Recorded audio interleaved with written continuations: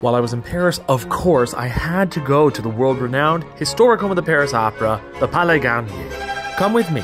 Everything about this place is dripping with history. Even the text on the front was changed for political reasons from the Imperial to the National Opera. Its name Garnier comes from the architect who designed this incredibly opulent space. Gaston Leroux's 1910 novel The Phantom of the Opera is actually based on this space, and so is the musical. The interior has four main spaces the grand staircase, the grand foyer, the auditorium, and the library. Here you can see the Grand Foyer. Some people say that you're wasted going to Versailles. You should just come here instead. Countless artists worked on this building, but most prominently here in the Grand Foyer is Paul Baudry's rectangular panel of music and the oval panel of comedy at the West End. God, there's barely an inch of this place that isn't covered in something incredible to see. And speaking of wonderful artists that have worked here, there have been countless historic productions at the Paris Opera. They keep all these displays of fantastic costumes and set designs from previous productions.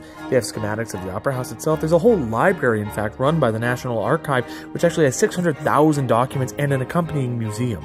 There is so much more here than you could possibly put into a short video like this, but one of my favorite historic things around the Opera House are all the tributes to the artists, the composers, librettists, actually even dancers, singers, and choreographers as well. Some of the true greats of all time worked here.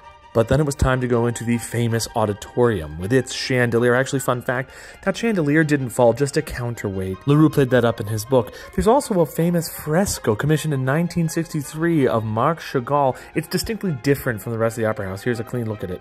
Well, that's all I could cram into two minutes from my day at the famous Palais Garnier in Paris, France. For more music and travel from a professional opera singer, follow here.